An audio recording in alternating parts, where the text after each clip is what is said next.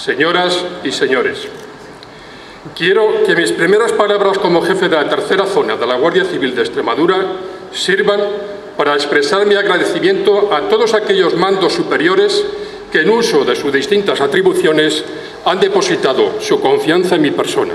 haciendo posible mi designación por el Ministro de Interior a propuesta del Director General de la Guardia Civil para el mando de esta zona. En la Sierra de Guadarrama, perteneciente a la Comandancia de Madrid, y una sociedad moderna, por lo que impulsaré las acciones de la sociedad. No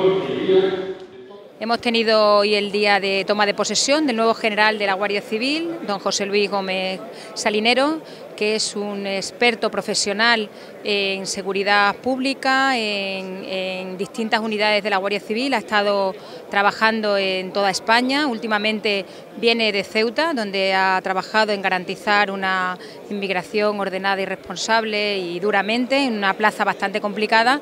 con lo cual, bueno, pues eh, hemos tenido el privilegio de contar con una persona con mucha experiencia, con una gran eh, cualidad profesional y, eh, y creo que viene con muchas ganas de, continuar la gran labor que dejó el anterior general y que están ejerciendo todos los guardias civiles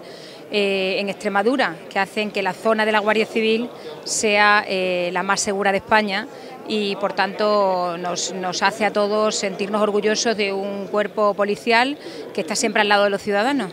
Y, y, nada, le damos la bienvenida y esperamos colaborar estrechamente con él para seguir en esta línea. Un currículum fantástico, el nuevo general. ¿eh? Un currículum estupendo, tiene experiencia en, distintas unidades, como digo, tanto de rescate de montaña, lucha antiterrorista, ha, mandado en distintas comandancias, algunas parecidas a Extremadura, como en Ciudad Real, y por último eh, una plaza difícil, como decía antes, que era la de Ceuta, eh, de la que se viene con un gran nombre, porque la labor que ha ejercido allí ha sido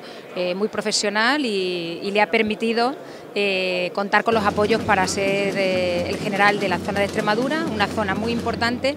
porque el nivel de exigencia que va a tener aquí es mucho, ya que los datos son muy buenos y lo que hay que hacer es continuar y mejorar eh, cada año un poco más.